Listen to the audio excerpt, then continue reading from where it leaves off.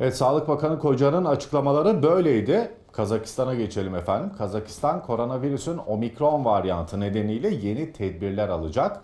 Ülkede 5 Ocak 2022'den itibaren aşı olmayan vatandaşların alışveriş, eğlence merkezleri, spor ve kültür tesislerine girişleri kısıtlanacak. Kazakistan'da koronavirüs salgını ile mücadele sürüyor.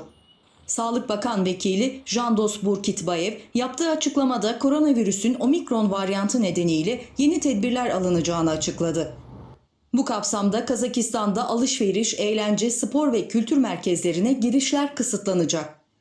Ayrıca banka ve posta şubeleriyle halka kamu hizmeti sunan yerlerde aşı olmayan vatandaşların girişi kısıtlanacak. Bakan vekili bugüne kadar 400 binden fazla kişinin yeniden aşılandığını kaydetti.